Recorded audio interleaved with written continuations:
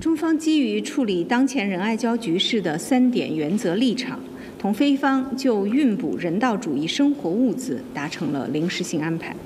这是中方为管控海上局势做的积极努力。中方将继续坚定维护自身主权和权益，同时注意到菲方表示愿意执行与中方达成的临时性安排。